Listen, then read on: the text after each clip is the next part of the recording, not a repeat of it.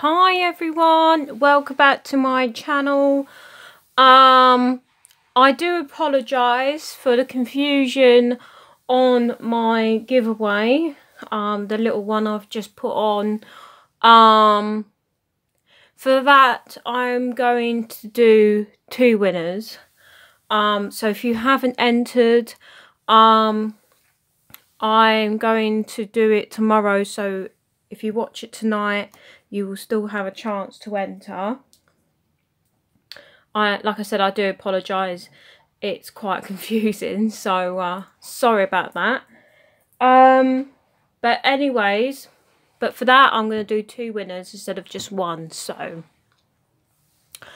Anyways, um, I popped on because I've made a couple cards and things, so let's get started. So, if you guys remember the video on the animal boxes that I got. Um, I've just made one up, but they're not really, it's like pop-up box, but so there's no bottom.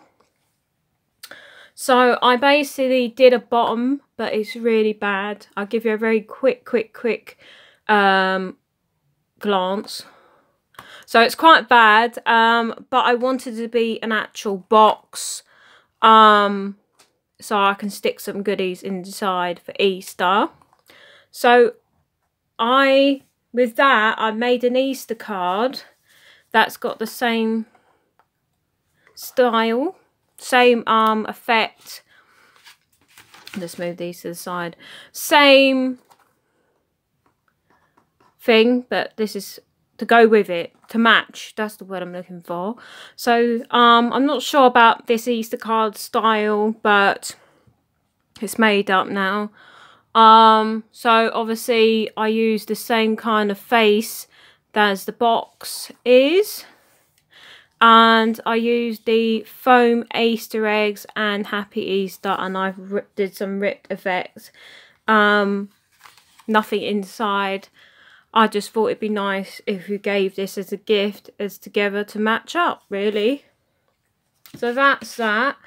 Um, there's another card that I'm not very happy with, but it's made up now. I've just finished this card. It's, sorry, it's this card here. Now, I'm not sure if I love it or hate it really guys.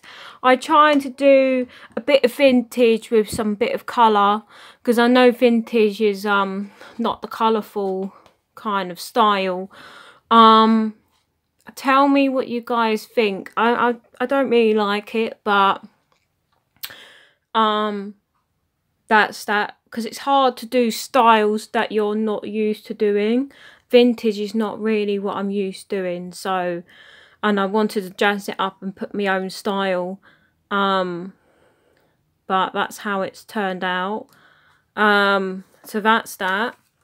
And the last card today guys is this one I've made up. Um I quite like it. Quite happy how it turned out. I love the rose paper I use with the gold foil the stamp and the colours scheme is goes really really lovely. So those are the things I've been up to. And like I said I do apologise that the little giveaway I've done is a bit confusing. Um so I'm sorry but for that I'm going to do two prizes instead of one. So I hope that makes up for the confusion uh, thank you all for watching, guys. Please subscribe if you haven't already. And thank you all for watching. And thank you for all taking part as well. See you again soon, guys.